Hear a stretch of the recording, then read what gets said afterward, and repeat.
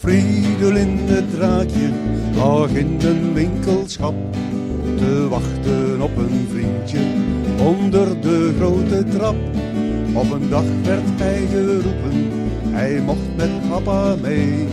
Hij vond het best wel spannend, maar volgde heel gedwee. Fridolin het draakje woont bij Charlie's bed. Hij fladdert daar wat vrolijk rond en heeft er dolle pret. Fridolin het draakje woont bij Charlie's bed. Hij fladdert daar wat vrolijk rond en Charlie vindt dat vet. Charlie was nog klein, bang van zo'n grote draak. Maar toen hij groter werd, was Fridolin vermaak. Hij was niet bang van dromen en Charlie evenmin. Snel werden ze vriendjes en sliepen samen in. Fridolin het draakje woont bij Charlie's bed. Hij fladdert daar wat vrolijk rond en heeft er dolle pret. Fridolin het draakje woont bij Charlie's bed. Hij fladdert daar wat vrolijk rond en Charlie vindt dat vet.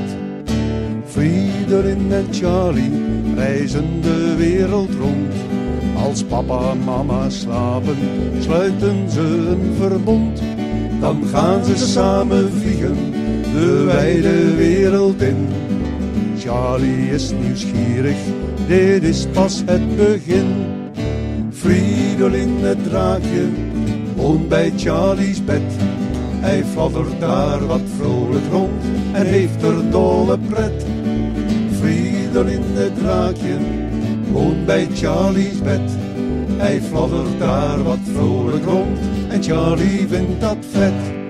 Een draakje dat leeft eeuwig, maar jongens worden groot. Ze blijven alsmaar groeien, dus Fridolin besloot. Ik wil nog heel lang blijven, nog wel een hele poos. Maar langzaamaan verdwijn ik dan in een grote doos. Fridolin het draakje woont bij Charlie's bed. Hij fladdert daar wat vrolijk rond en heeft er dolle pret.